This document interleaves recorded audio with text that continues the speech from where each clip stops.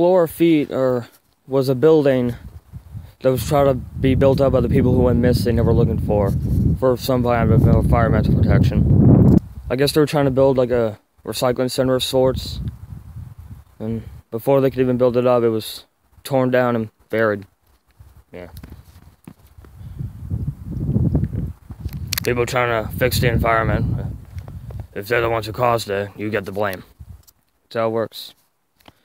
And it was also confirmed confirmed by Teddy and Big Roy that the men we were looking for came back to apologize about it, trying to build it. Sorry you can't fix the environment. Guess you were too stupid enough to think you weren't even part of it. Now all you can do with your life is just crap in your toilet and pray it doesn't come back to you by them feeding it to you for the sake of keeping the environment clean from all your waste and the bad smell. Whatever that means. And it was also confirmed by Teddy that there are people over there who got attacked